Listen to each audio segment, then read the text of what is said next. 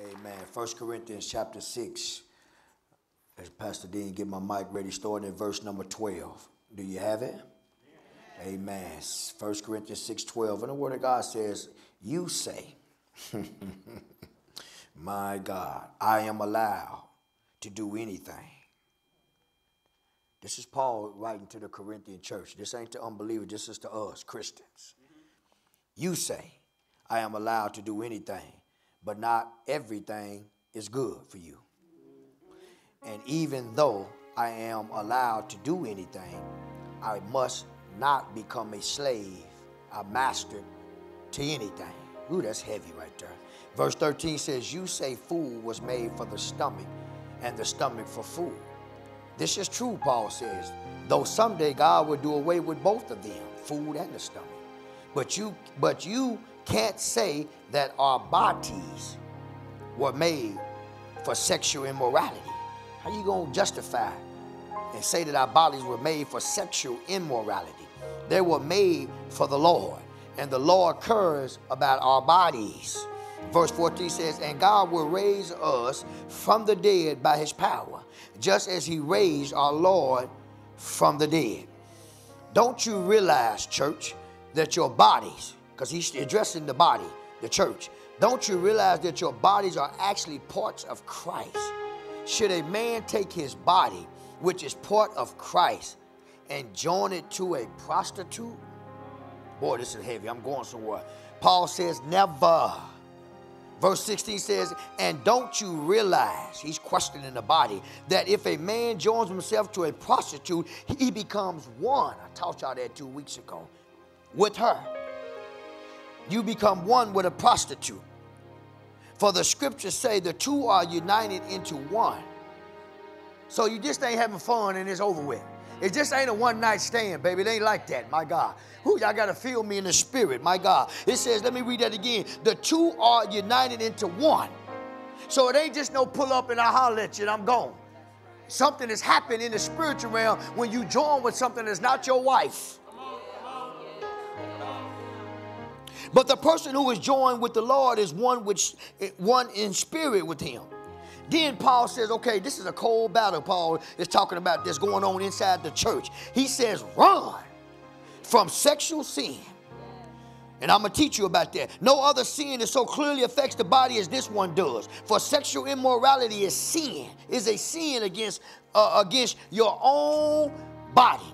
Verse 19 says, Don't you realize that your body is the temple of the Holy Spirit who lives in you and was given to you by God? You do not belong to yourself. Christians, even though the scripture said you can do what you want to do, but everything ain't beneficial that I do what I want to do. You belong to God because if you gave your life to Christ, my God, you no longer, my God, belong to yourself. You was bought with a price if you read your Bible.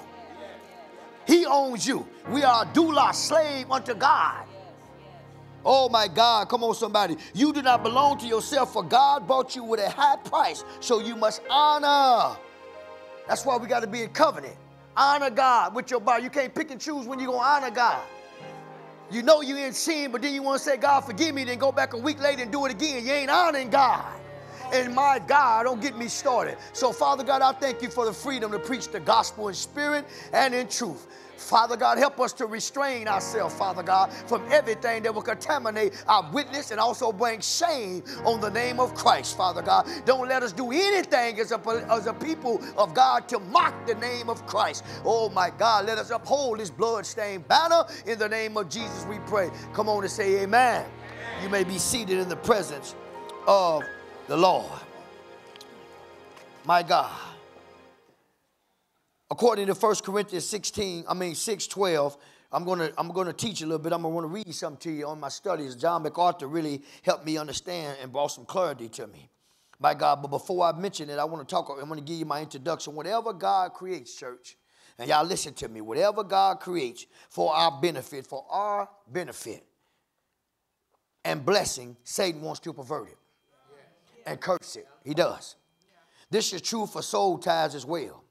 Ungodly soul ties can form inappropriate male on male, female on female, even male and female relationships.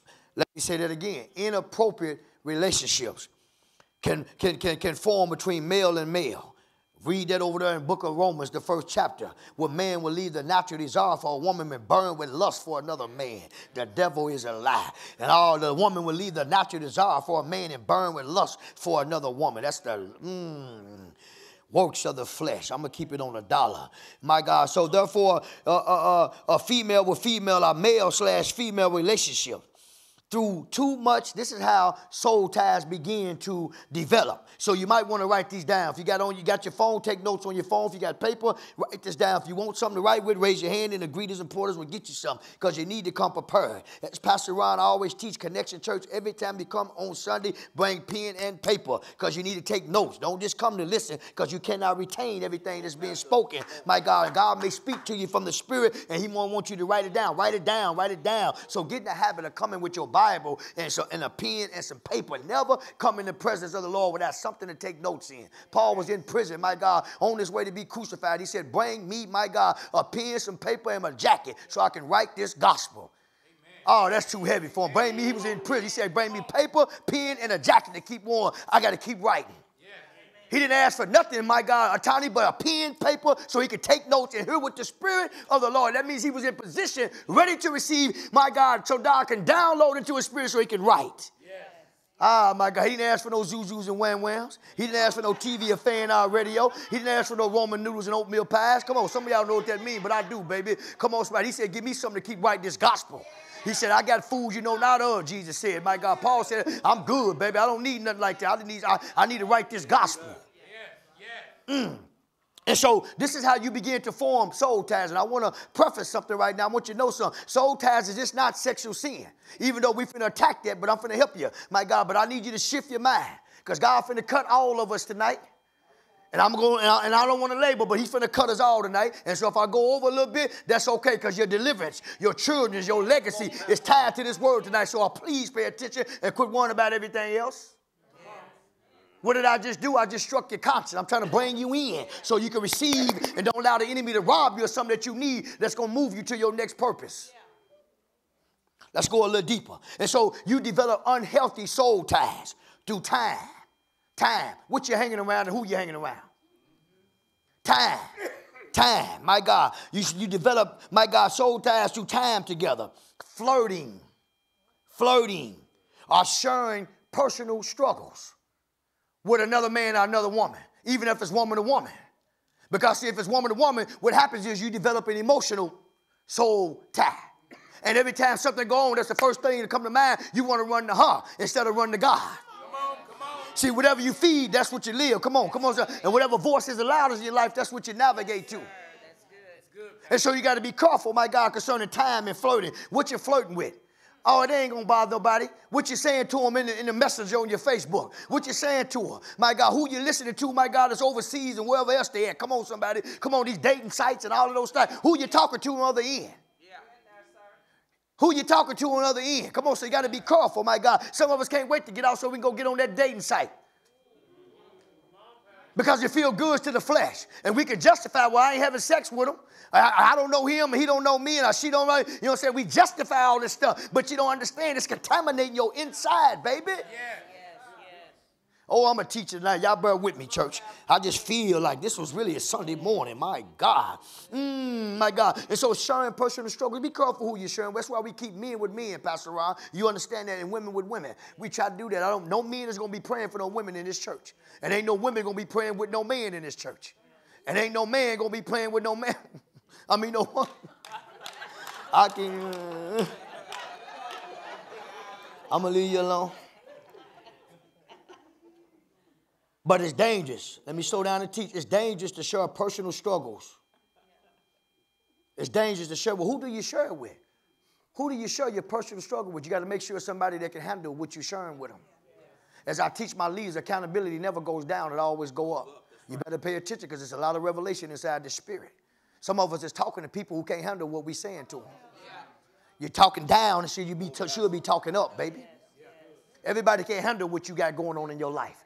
You trying to hold on to the familiars. I taught y'all this past Sunday. You trying to stay this familiar, and you think, because that's my girl, we went to school together, and we do all this together, but she might not be spiritual enough. And so you contaminate somebody, you ruining somebody. My God, when you should be talking to somebody more spiritual, but you run to somebody on the outside because you don't want nobody to know your business on the inside. And so you go contaminate and drop all this heavy load on this friend of yours who ain't even spiritually ready to handle what you giving her. So you weighing her down in the natural, my God, don't even realize it. You affecting him in the natural and don't even realize it. He can't handle, she can't handle. My God, but so therefore you want you want outside of the church instead of run in the church. Well, the people in the church are just as messy as those that outside. True that. That's why I got to pray for discernment. That's why I got to say, God, lead me by the Spirit. The Bible says, be led by the Spirit. You got to ask God to lead you by the Spirit. You just don't go to anybody because they jumping and shouting and running around. That don't mean nothing. A whole lot of external, my God, don't mean that person is going hard for God internal. I teach y'all that. I teach y'all right. A whole lot of emotionalism don't mean nobody spirit led, baby. A whole lot of excitement and screaming and shouting don't mean nobody spending time with God. My God, emotion. I was just telling Pastor Jeff then before I came into prayer. Emotionalism will cost you your soul, baby. Whole lot of hype. I was talking to my daughter April today, my God, everybody talking about lit. This church was lit. I understand the young generation is lit, my God, and he turned up. Okay, after you be turned up, are you built on a firm foundation? After you get through jumping and shouting, are you built to last when the devil comes? Oh my God, do you got some anchor in your soul, my God? When life come up against you, my baby, my come on, somebody, when you ain't got no music, when it ain't excited, my God, are you anchored in God? Is your mind set in the things of God? Everything lit. Everybody running to excitement. But nobody want to be built. I'm sorry. I'm sorry. And so therefore you can gather, you, you, you, you, can, you, can, you can develop unhealthy soul ties, my God, at work, write that down, and even at church. I'm to teach you right.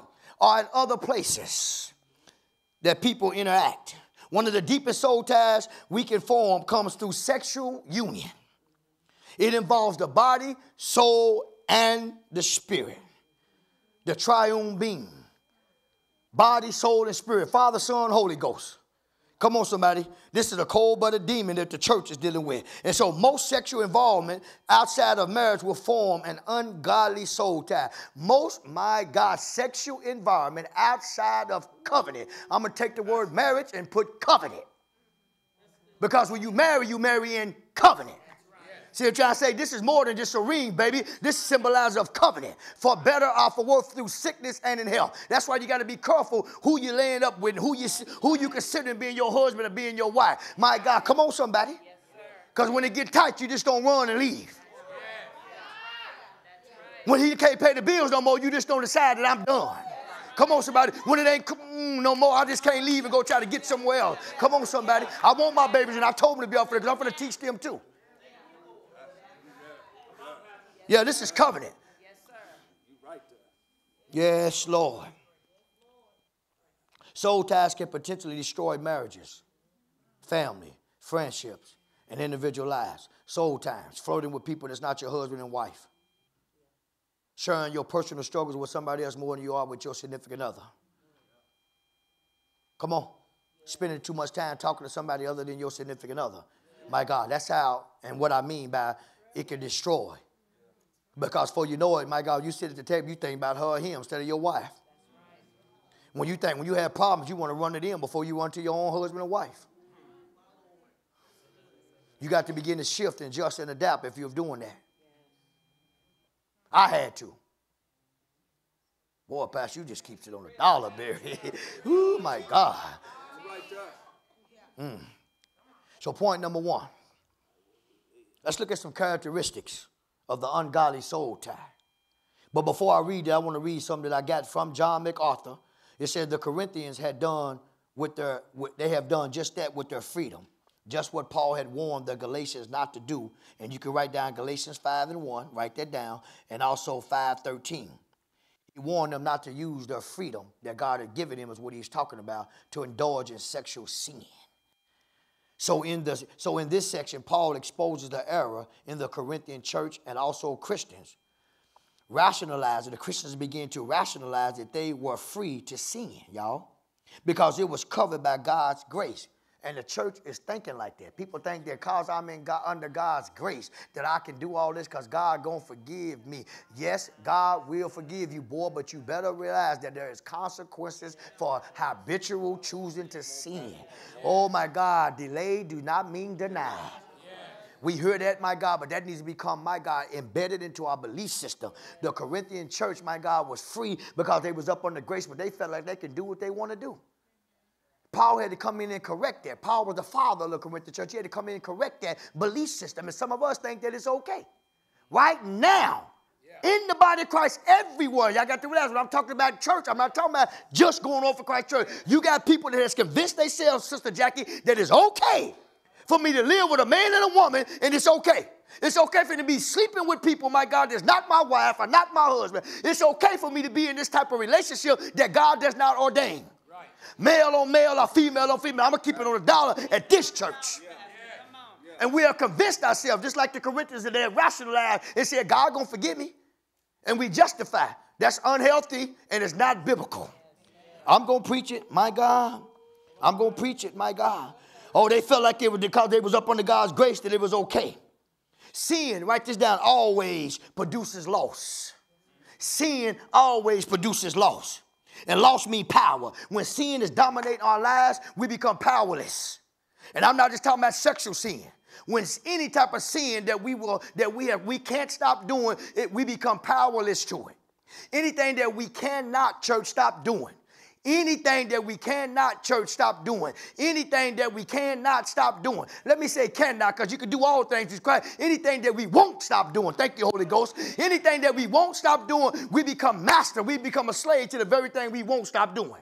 Because you can't stop doing it, but you got to make a choice to stop doing it. Because He's always giving you the victory. You already been justified. You already been sanctified because of Calvary. My God, greater is He we quoted than He that's in the world. So you just got to choose to stop doing it and quit trying to justify that it's okay because it ain't okay. If it don't line up with Genesis through Revelation, it's out of order. I don't care what the world's saying. I don't care who talking about my church is lit. I don't care how excited someone. What does the word say?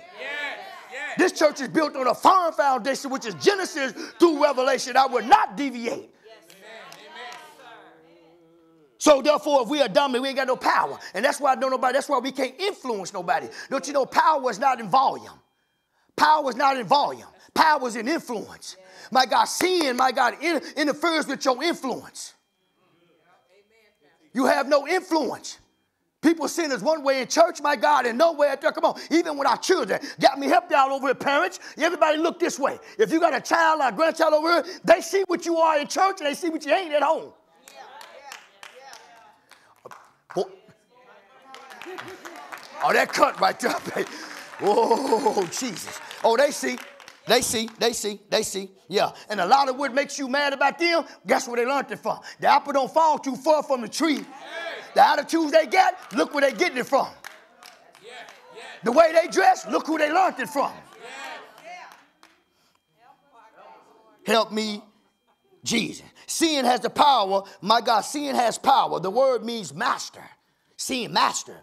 And, and no sin is more enslaving, church, and I'm gonna move, enslaving than sexual sin. No sin, no sin is more enslaving than sexual sin. It saps, my God, a Christian's joy, peace, and youthfulness. When I see people that was one active, activated in the ministry, all of a sudden they dropping out everything. You know what I'm trying to say? I need to just sit down you know what I'm trying to say? Okay, why you need to sit down? I'm tired. It takes more than that because, like I taught my leaders on Monday, J- Jesus had an assignment. I taught them Monday. Jesus' assignment, watch this, Barry, look up here. Jesus' assignment kept him on the cross. Guess what his assignment was? Everything that's sitting up in there and everything in the world. See, when you have an assignment, you don't get to quit on God.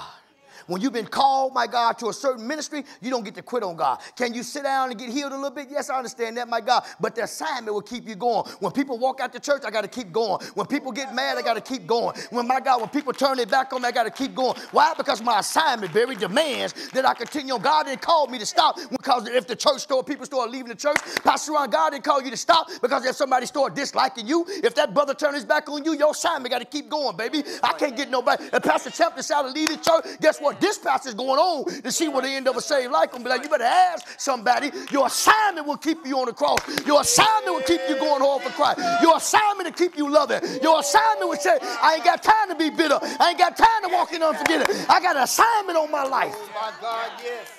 Thank you, Lord Jesus. That's why you can't serve God out of contract. You got to serve God out of covenant. Christ was in covenant. My God, his covenant demand that he stay on the cross. Oh my God, I feel good. So, point number one, let's look at these ungodly soul ties. A careful examination of all our relationships. A careful examination. I was in prayer this evening talking about that to myself, to God. A careful examination of all our relationships will reveal godly or ungodly soul ties. Because there is godly soul ties, like I taught you two weeks ago. Go online and look at it. We must ask ourselves, does the relationship, does this relationship that I'm in glorify God? You have to do a careful examination. Paul said, examine yourself daily to see that you be in the faith. Don't you know you can deviate and drift? Don't you know you can start out in faith and drift away from faith and find yourself caught up into something that if you'd have kept your faith anchored, you would have never ended up over here? And then when you try to bring yourself back, if you don't stay focused and stay determined, my God, you can find yourself drifting to the other side.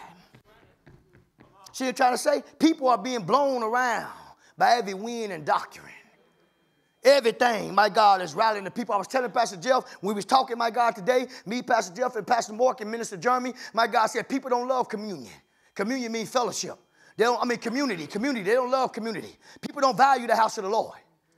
But see, I told Pastor Jeff this, this afternoon, I said, even if going hard for Christ never get to a thousand people, long as they develop spiritually, I take development spiritually any day over numbers. Many pastors and people are looking at numbers, but they don't care about the spiritual development. My God, oh, I want you healthy, I want you whole, I want you free. My God, I take that any day over four, five hundred people in that's unhealthy.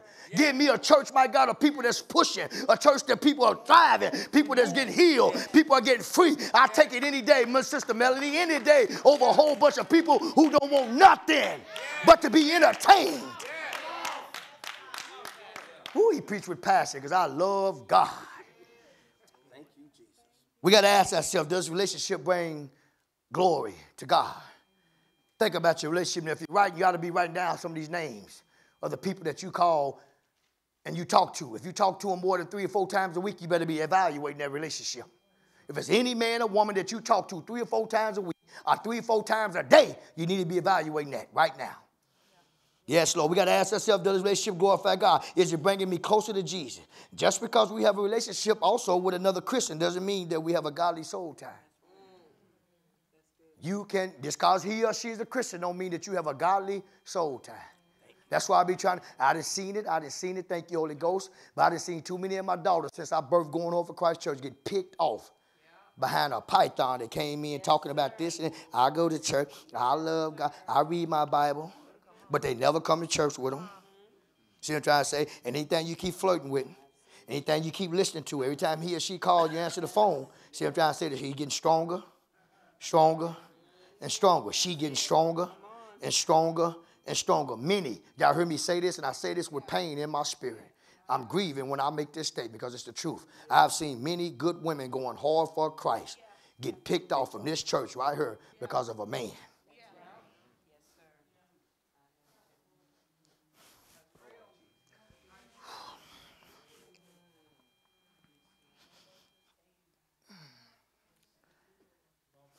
Mm.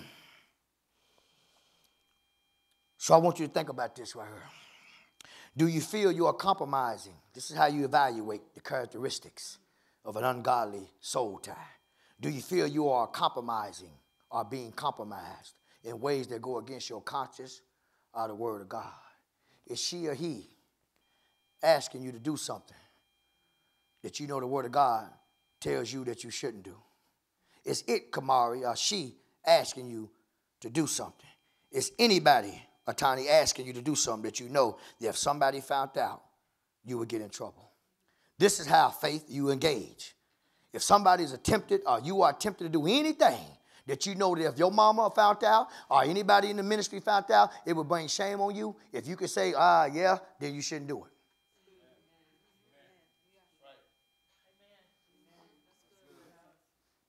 So as I looked at my babies, how about you?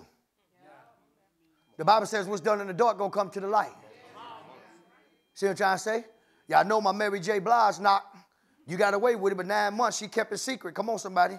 Yeah, yeah. You can avoid that sin as long as that baby's being formed. But sooner or later, it got to come out. See what I'm trying to say? Your sins will find you out. Read the book of Second Timothy, or First Timothy. The Bible says some of our sins follow. They trail behind us, and eventually they catch up and bring judgment.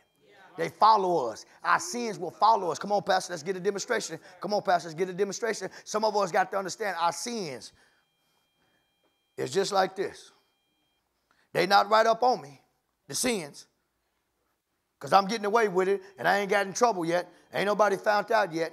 I've been driving from here to Coweta, and so don't nobody know her. I got a ducked off. You know, she cool. She ain't on. She ain't really tripping. You know what I'm trying to say? I mean, you know, I'm just I'm just talking to him on the internet. You know, he ain't he ain't never saw my face. I ain't never been over there. You know, he really don't know what I look like. So you know, he just a friend. Follow me. My sins is follow me. Eventually, they get right up on you. That's exposure. God, thank you, Holy Ghost. Thank you, Holy Ghost. God's grace, church, let me teach you right. God's grace cover you. God's grace and mercy gives you and I an opportunity to change and fix what we need to fix, Minister Jackie. And if you don't do it, exposure. If you don't do it, judgment is coming. Now you're embarrassed. See, God will hide you down here, but then when you try to hit this platform up here, what you didn't kill down there, now you're up before the people like I am. Now what you didn't take of down there, now God got exposure. So that, my God, that we're doing, God's grace is covering you and I. Eventually, He gonna say, okay, enough is enough. And then bam, exposure. And you can't blame nobody. Somebody in the church may call it out. How you gonna judge me? Now God just used that person to the discern that messed you in, they called it out, and now you bitter, now you want to leave the church. Yes. Come on, Pastor. You've been found out. oh my God, I wish I was on a Sunday morning. I got time to teach the gospel. So again, do you feel like you're compromising? Or being compromised in ways that go against your conscience? My God, my God, you know what's right and wrong. You don't need no pastor or nobody to tell you what's right and wrong. God built a, a right and wrong conscience inside of you. This is Bible study, baby. We preach the gospel at Going Hard for Christ Church. You got it already in you. Everybody in here know right from wrong. Every one of these babies over here know right from wrong. Look at this right here. Is this relationship one-sided or self-centered? Self-centered means it's all about one person. You got to evaluate the relationships that you're in. Is he making it all about him? Is she making it everything about her? One sided. Let me go a little quicker. Is there mutual sharing? Write this down sharing, growth, and freedom. Is there mutual sharing, growth, and freedom? Or is there bondage, control, and manipulation? Sharing, growth, and freedom. That's the benefit, that's the healthy side of a relationship? Or is there bondage, control, my God, and manipulation? I see many of my God, was running hard. Why you got to go to church? Dang, you at church on Wednesday, Sunday? It, it don't take all that. God know your heart, girl. And so you so emotionally tired and trying to please him when you will self-sabotage and you will listen to his voice or her voice before you obey God's voice. You know good well you need to be in the house of the Lord. You know you was going. You know you was prospering because you want somebody because you tired of being alone. And so you let him manipulate you and disconnect you from the vine, disconnect you from your brotherhood, disconnect you from your sisterhood, cause you to start missing your P12 group because you want to hang out with him. You spend too much time at church. You go to church on Sunday. You got class at 11. Then you got Bible study on Wednesday, and then you got a P12 group. When you gonna make some time for me? You know what? You need to tell them, why come you ain't in church in your P12? Why come you ain't in church? Don't get me started. But you ain't strong enough to say that because you're weak. You'll let him, you'll let him manipulate you. You'll let her manipulate you and talk you out of what you know you're supposed to be doing, but you won't put a demand on him. You'll let him, the demon, put a demand on you, but you won't put a demand on him unhealthy soul tie. He gonna talk you up out of church, and you can't talk him in church. Run. He gonna talk you out of church, but you can't talk him in the church. Wow. Somebody give God a hand. Oh, is they checked in, friend, friend? Because we in there. Yeah, my God. Let's go a little deeper. Let's go a little deeper. Does the relationship move you towards God or away from God? I know you growing up with him or her. I know that's your friend. Does it move you towards God or away from God? Does it move you towards God?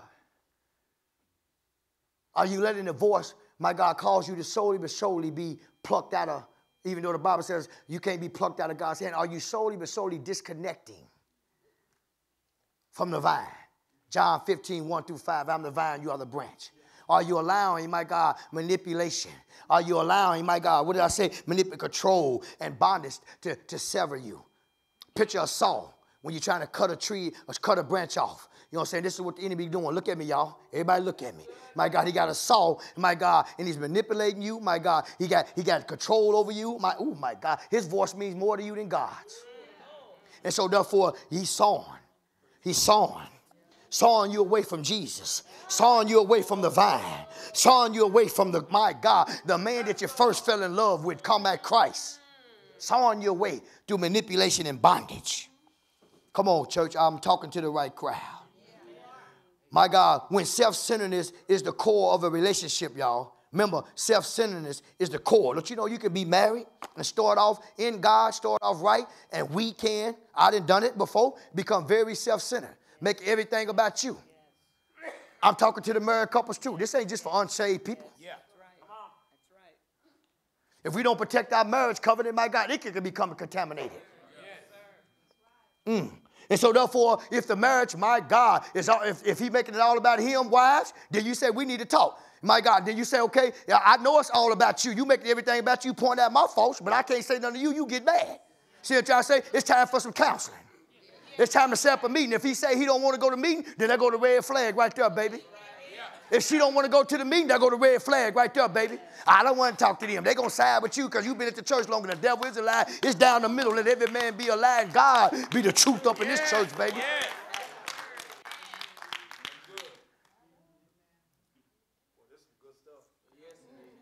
Yeah, we become self-centered in our marriages. J and A, keep it, my God, about each other. Never let it get contaminated. Never let your relationship be all about you. Never let a man or a woman dominate you, my God, and tell you what you can and you can't do. You can take care of my kid, but you can't take care of your kids. The devil is a lie. Yeah, we got some women with that type of spirit in the church. They intimidated, my God, don't want you to take care of your own biological kid because they worry about what you're going to say to the. Come on, Pastor. Ooh, you right up in there. Tell me if that's God. Remember, I'm dealing with Christians. How you gonna tell me you're a man or woman of God and you won't let your husband now, who in love with you, might got married to you, take care of his own kids? And you talking about you a Christian and you love God because you can't stand her. And so therefore, your word, your thing is to keep him away from his kid. That keeps him away from her. You hurt those kids. Shame on you. Yeah, yeah. I'm talking to everybody, all everywhere. I ain't talking about going over Christ Church. And you got many people sitting in churches working on staff. My God, is hateful like that. That's an unhealthy soul tie. They married, and that's unhealthy. Yeah. And he's so weak, he let her do it. Because he need a place to stay and a car to drive.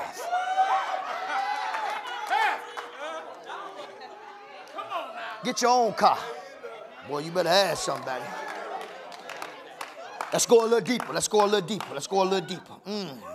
Thank you, Holy Ghost.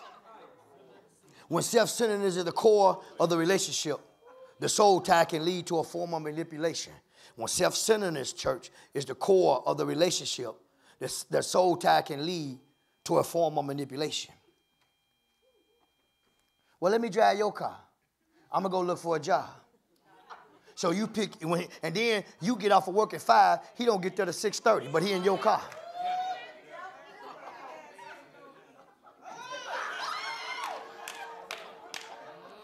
Let me help you. Because the minds of two people, let's here we go, church. We've been dealing with a Missing Ingredient about the importance of the belief system. My God, the healthy heart, not this, but the mind. Because two minds, because the minds of two people are open to one another. See I'm trying to say? That's where the, that's where the enemy gets in. That's all with manipulation in. Because I want to please him, he wants to please me. And so my mind is open to whatever she or he got to say. But you got to be careful and make sure you're not being manipulated. And if you've been wounded from a child and you struggle with self esteem issues, and if you've been wounded, my God, as a child, male or female, and you deal with the spirit of rejection, and so therefore you would submit to everything she or he got to say because you don't want to deal with rejection. But yet there's things in this church, my God, and classes for you to take that you, some of y'all have been through, but you still struggle with rejection. And so that means you ain't free. Sign your butt up and get back to class because you ain't free. Ooh, Pastor, you shouldn't talk like that. The devil is a lie. I want you free. Give God a hand. This how we doing it at going hard for Christ Church, baby. Mm. My God, you got to understand the enemy will get in. He has legal access to wreak havoc in any relationship where there's manipulation and bondage, my God, and control and domination. That's, that's, that's, that's a breeding pot. Bless the woman of God. Get some water right there, son. That's a breeding pot. That's a breeding pot for the enemy. Wherever there's confusion, wherever there's manipulation, and you listen to me, Brian, wherever there's control that Tiny, and all that, that's a, that's a melting pot, my God, for nothing but the enemy. Whenever the woman is telling the man to do everything, he ain't got no self-esteem, no self-confidence. Well, it ain't the woman's fault, it's your fault.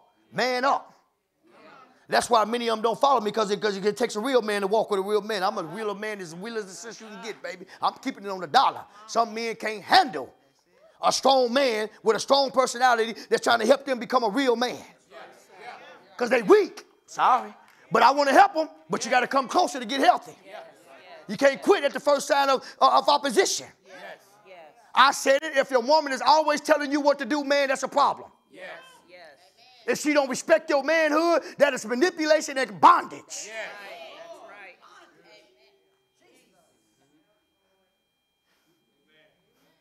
Point number two, let's go a little deeper. Break every chain. Break every chain. Break every yoke, Lord. Cut it away, sever it. Every unhealthy soul tie. Let's look at breaking. I gave you some characteristics. Let's talk about breaking. Let me read this for, to you first. Again, from John MacArthur. Paul affirms that all sex outside of marriage is sin. All. If you're not married, you ain't said I do, she or he, they ain't got your name, and you are living or, or, having sex, you are in S I N. God's grace and mercy is covering you, but get it right. You know, if you ain't got no money for no wedding, let's get some counseling. And I didn't marry four, five people in my office. Because it ain't about the marriage, it's about the sanctification of the marriage. See what I'm trying to say? If you can't afford no wedding, we can go right off in there and I'll get you married if God tell me to, because I don't just marry nobody because they want to be married. I just turned them down. I made my son and pushed theirs about six months I told him you wasn't ready. I just don't marry people for don't call me because I'm going to check you and make sure you're straight. And I'm going to ask you to move out before I move out to get some time away from her for a minute before I say, come on. Because marriage, oh, thank you, Holy Ghost. Y'all think, y'all think I'm tripping. Let me go with you. Let me go. The Bible says God, my God, likens the church as the bride. He's married to the church. My God, wed, my God, my God, marriage is the highest, one of the highest institutions in the covenant of God. He's married to the church. That's why he said, I'm married to the backslider. You know what I'm saying? God likens marriage to the church. My God. He said he died for the church. This is Bible, church. I'm just giving it to you real. It's unhealthy. Although ungodly soul, soul ties are sinful, Jesus forgives all sin. Let me give you this. And so, if you have a marriage outside, my, I mean, a, a sex outside of marriage, it's illicit, it's uh, uh, sin, but illicit relationships. But illicit relationships, church, by believers are especially reprehensible illicit relationships by believers, Christians, are especially reprehensible, reprehensible. Amen. Because, I got to slow down, because they profane Jesus, with whom we are one. So, whenever you're having sex with a woman that's not your wife or a man is not your wife, you are joining Christ to that. Because you can't say, Jesus comes in. The Spirit of God lives on the inside. So wherever you go, He go. That's why He says, "Grieve not my spirit." That's why He said, "Touch no unclean thing. Be ye separate."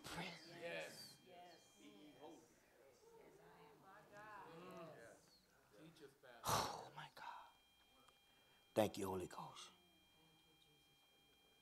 You become one with any person that's not your wife Let me say anything. That's not your husband or not your wife.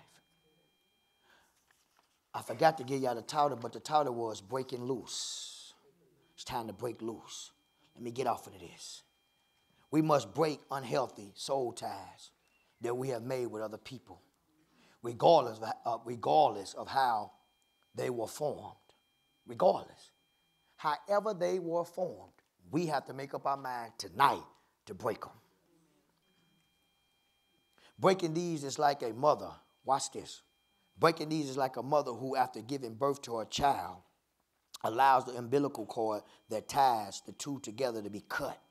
Y'all listen to me. When this happens, the baby can start a new life and begin to grow on its own. In the same way, we must cut and sever ungodly soul ties so we can move on with our lives. Breaking ungodly soul ties requires three important steps. And before I give them to you, my God, until you cut that cord, come here, Pastor. Until you cut that cord, get behind me. Pull on this RL. When you cut the cord, first let it go, Pastor. When a mother cut the cord, the baby can start the process of development, growth, progress, maturity, and so forth. If you and I choose not, come on, Pastor, choose not to cut the cord tonight,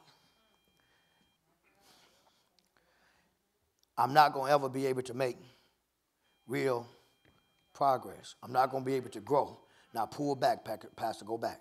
Because every time I try to move forward, that soul tie is pulling me back. Every time I try to get away from him and I try to move forward, Every time I tell God yes, I'm serious this time. I nailed him to the cross. I nailed that to the cross. You may do that, but then he. Because let me help you. Because anything that you do external, if you don't shift your mind internal, you're going to go right back to it. It's called paradigm shift. See, I had a paradigm shift April the 30th of 1995. Gang banging was no longer my thing. Selling dope and smoking dope was no longer my thing being a criminal, trying to live up to somebody that I wasn't, uh, God shifted my mind. And that's why I never went back to it in 23, four years, period, to none of that mess, because I had a paradigm shift. I could talk about this stuff all night. You can say, ooh, Pastor, that was good. But if you don't shift your mind, guess what? He going to pull you and she going to pull you right back in. Right. To something that you know you need to be out of. Right. Well, I can't make it without him. I need his $300. Why gain the world but lose your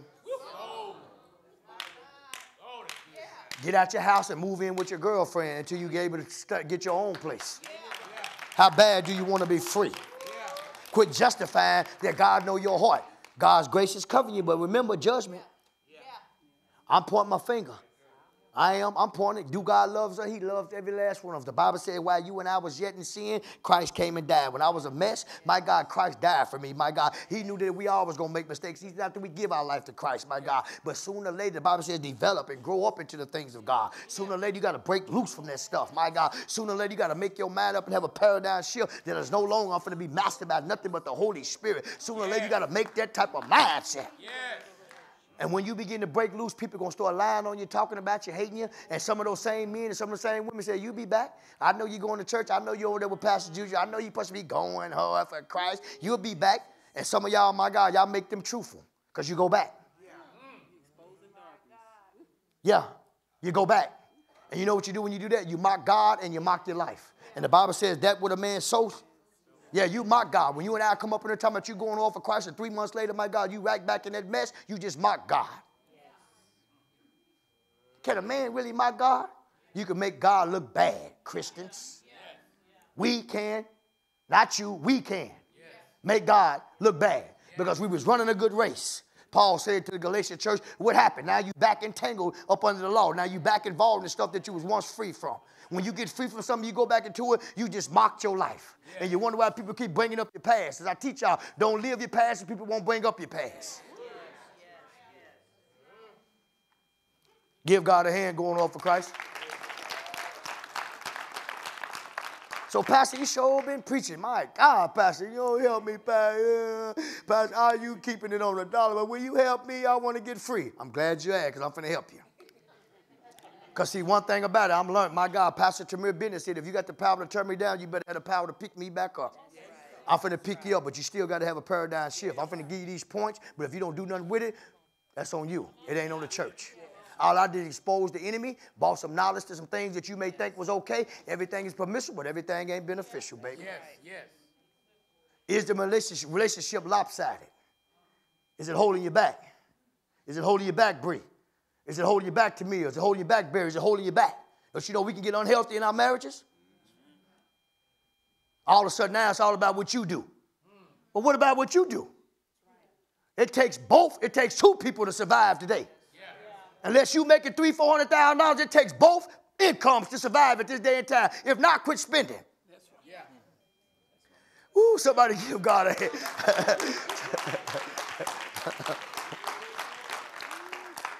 I ain't trying to get nobody in trouble. Don't blame it on pastor. I promise you don't blame it on pastor. So how do I get free? How do I get free? Write down point, I mean, number one, prayer. Everything starts with going vertical. Everything. Everything. Everything starts with being vertical. In our personal time with God, we need to be asking Him to show us ungodly relationships we are involved in. We then must ask His forgiveness. See, you can't say, God, okay, I see it, but don't ask God to forgive you. We need to ask God for His forgiveness in our involvement. Don't blame Him or don't blame her. You made the choice. If he didn't make you do, if he ain't making you be with him, if he ain't put no, well, take that back. Holy Ghost, thank you, God. If you are being forced against your will to be in a relationship, you better be looking for an exit because sooner or later it can be your life. Yes.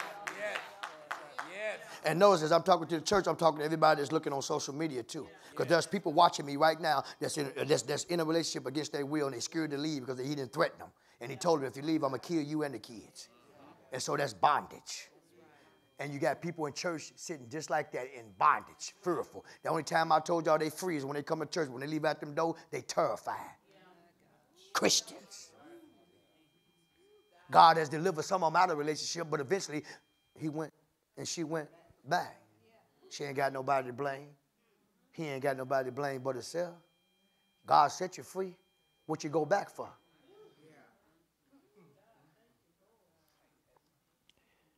Mm, mm, mm. Break and renounce. You got through prayer. You got to, when God revealed to us, we got to break and renounce the soul tie. Mm, that's formed, and then cover it in the blood. You got to speak. The Bible said, confess and believe, my God, and you shall be saved. But you got to speak to the soul tie. Sometimes you got to call that person's name and say, I renounce this soul tie. I told you, you got to pull your soul in. Some of y'all, my God, that I know wants to be married, get ready to get married. Before you get married, listen to me as I admonishes you and encourage you and exhort you. Call your soul in before you marry somebody.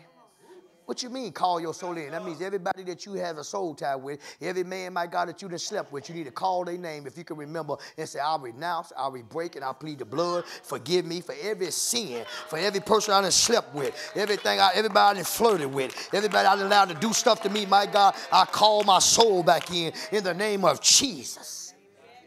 And then, my God, make sure you are healthy before you say, I do. If you still struggle, every now and then he pop up, she pop up in your mind, you are not ready to be married. That's right. That's why we still struggle with adultery. 18 years giving God glory, have never committed it. Not casting no stones, none of that. But you got to call your soul in. You got to get healthy before you move from one relationship to another. Some of us is bouncing around just like the children of Israel. We all over the place. Get healthy, sit still. The Bible says when they circumcised the children of Israel, they were circumcised. I know I'm talking about because these babies, but they sat in the camp until they healed. A lot of us not even healed. We trying to get in another relationship. We just broke up two weeks ago, and now we have found somebody else trying to be in another relationship. That's why they ain't going right, because you ain't healthy. That's why it's hell, because you ain't healthy. And then you want to blame the church when the church try to help you get free.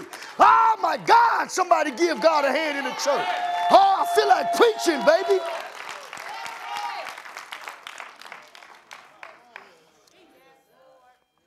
Renounce, renounce, call it out. Get a proxy session. What is a proxy? Come stand by her, son. This is a proxy session. Do it with your wife. I find your accountability partner in your 12. Matter of fact, P12 leaders, allow your daughters and allow your sons to have a proxy session. Matter of fact, this week, my God, when you have your 12 meetings, my God, proxy session. You know what I'm saying? So they can stand up there and call that mess out. And so you got to speak her name, whoever her name is. I renounce this name. I can't remember because I've been with mine since I was 17, so I don't know. Somebody, whoever she is. Call it out. I renounce you. I renounce that. What? Uh, Cindy or uh, uh, uh, uh, Joanne or uh, Susan, whoever. You got to speak it out.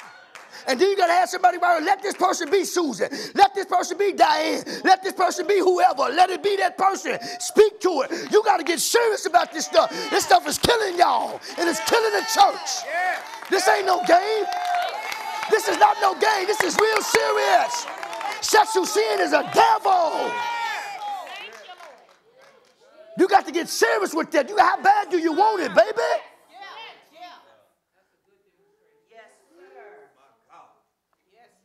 And if you really want to get free, go to your wife and say, I need to renounce this, then let her be it. Yes. That builds intimacy. Yes. Confess it to her, confess it to him. Yes.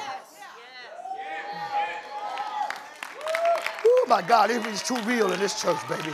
Hey, I felt that in my soul. Go ahead, son.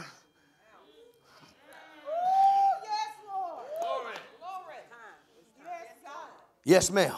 Number two, after prayer, this is how you get free. You got to make a willful decision. Time is at hand, but I'm going to finish this. If you got to leave, do so quietly. My God, willful decision. Willful decision. The Bible says, out of the soul, it's the mind, the will, and emotion. Don't you know you and I serve God from our will and from our mind? The Bible says, with the mind. Now, I that you and I serve God. So if your mind is unhealthy, guess what your life gonna be? Guess what your relationship gonna be like? If you're not healthy in your emotions, you get dealing with all this low self-esteem, lack of confidence, and all of those type of stuff. Guess what, my God? Rejection. You're gonna feel like the Holy God gonna reject you. You're gonna feel like, my God, if you don't love yourself, you're gonna, you gonna be like, God don't love me. You know what I'm saying? Don't nobody love me. I've been mistreated all my life. Men and women that's been all my life. See, that's your mindset. You're wounded. You're a broken citron, baby. You need to be put back together. You need to get back on the altar. Let God put you on the altar. You ain't ready for no relationship. If you still gotta have affirmation from a man to feel good about yourself, you got to be able to encourage your own self. You got to be able to stand on your own feet. You got to build your life on your own foundation through Christ. Yeah. Some of us can't move unless we got a man behind us. Mm. Though the act of the will, come on, let's get this. Though the act, through the act of the will, through the act of our will, we then mentally, mentally choose to leave the ungodly relationship. This is often the hardest part. There must be an agreement within our will. My God, Lanny taught that this Sunday and last Sunday missing ingredient. You gotta, I told y'all that we gotta bring our soul, mind, will, and emotion under submission to our spirit. If your soul is on top of your spirit, you out of order and you're in trouble. Anytime your mind and your will tells you what you can do and what you can't do, and you never submit to your spirit, you are doomed. And you are a victim, my God, to brokenness. When your mind and your will always disqualifying you. When you tell yourself, I can't live without him, I can't live without her, I got to look at this porn, I got to do all this type of stuff, you are defeated. Christian, I don't care how much tongues you speak in. You got to bring your soul into alignment with your spirit. Your spirit dominates your soul. You get your soul, my God, submitted to your spirit, and God will begin to heal your mind, will, and emotions. You can't serve God, my God, out of the flesh. The soul is the flesh. That's why you make progress, then you quit. That's why you get, you get encouraged, you come to church faithfully, then you quit coming. Your soul is leading your life.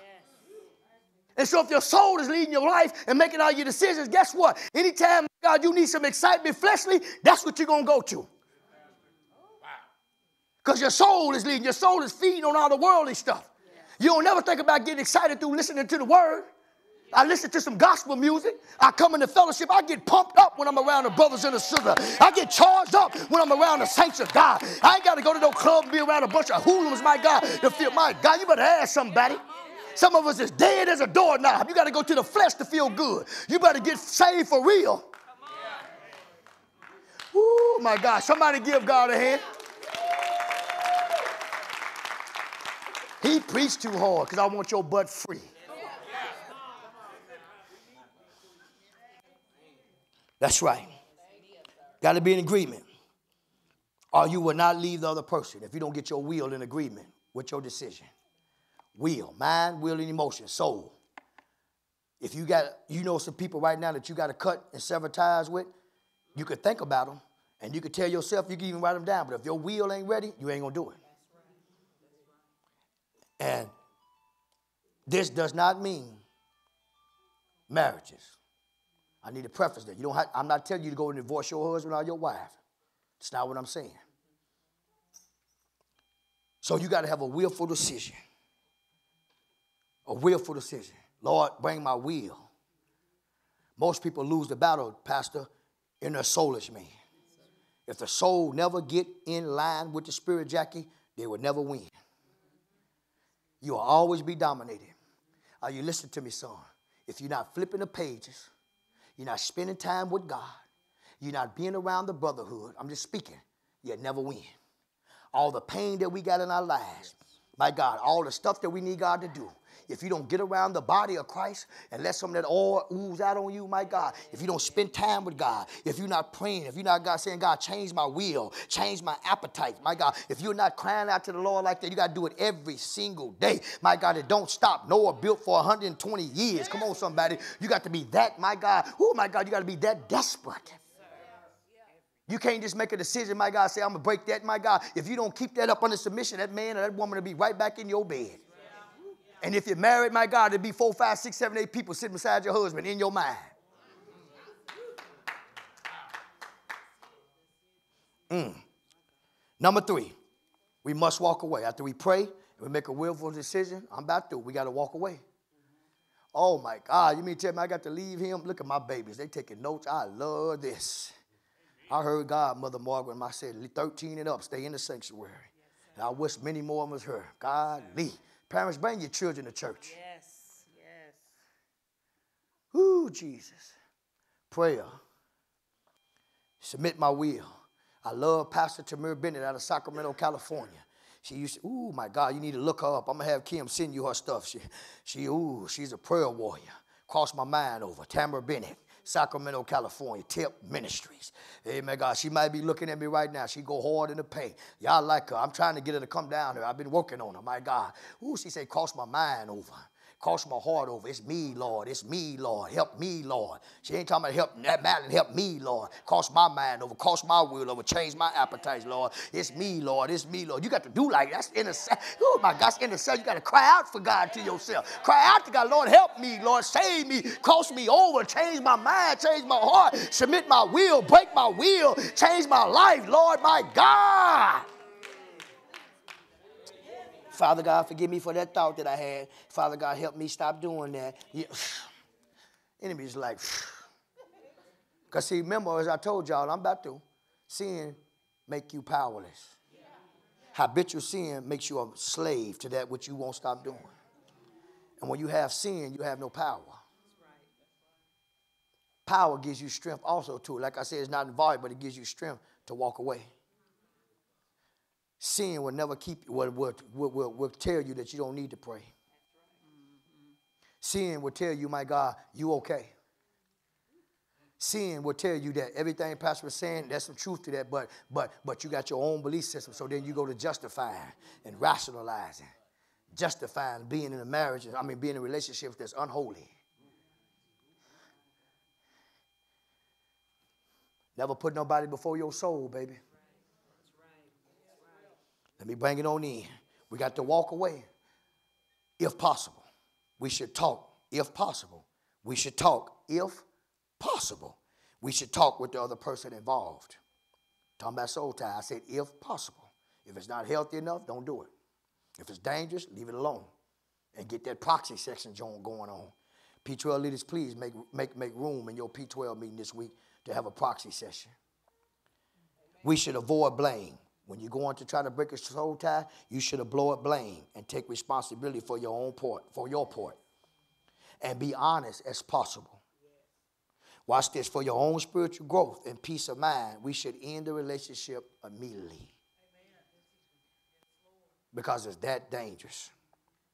Second Corinthians says this, and this is the message Bible, Second Corinthians 6 17. So leave the corruption and compromise. Corruption and compromise. Leave it for good, says God. Don't link up with those who will pollute you. I want you all for myself. God is saying this. I don't want to share you with a bunch of pollution, with a bunch of idols. I need you plural, singular. I don't need 18 people inside of you. I need one of you.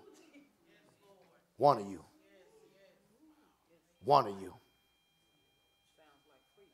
Sounds like freedom, and we finna get free. According to verse 618 in this chapter, and I'm just going, you can just listen to this as I bring it in. There is a sense, there is a there is a sense in which sexual sin destroys a person like no other. Because it is so intimate. Oh my God. Because it is so intimate and entangling.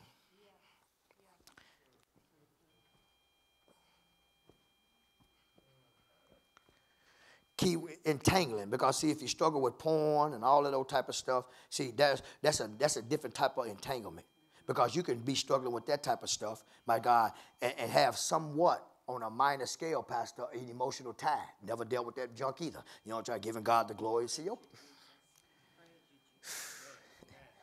I thank God. I always tell my wife I'm so grateful that there's a lot of stuff that my drug life kept me out of. My gang life kept me from getting entangled with a whole lot of stuff. I never got caught up in all that type of stuff. I was too busy gang banging, selling dope, and trying to get you before you get me. And so it kept me away from a whole lot of entanglements. So I didn't have to get free from a lot of stuff. I thank God when I was out there in the streets, I only got my two kids, my daughter and my son. I ain't got a bunch of kids all over America. A lot of people thought I had many kids. Did you, how many kids you got? Two? They grown. There go one of them right there. Ain't there? Look at mama talking about two. And so I give God the glory. I'm not trying to put nobody down, but see, I'm, this is the reason why when I begin to reflect, that's why you hear me say, Oh, God, I thank you. That's me, I just start giving God the glory because I'm so grateful for so many things. Like my daughter Patrice said, my God, Pastor, he said, I feel you now. She told me, I understand you now. She said, You're just so grateful. That's why you be acting the way you be acting, screaming the way you be screaming, because you're grateful. I am, Pastor Ron. I'm grateful because it didn't have to turn out like this, man. I could still be in the penitentiary. I could have been dead a long time ago, man of God. God has kept me, my God. God. Ooh, my God, don't get me started. That's why I go hard like I do, woman of God, Linda. I love God. I've been delivered. You understand your pastor? Mm. Let me give you this.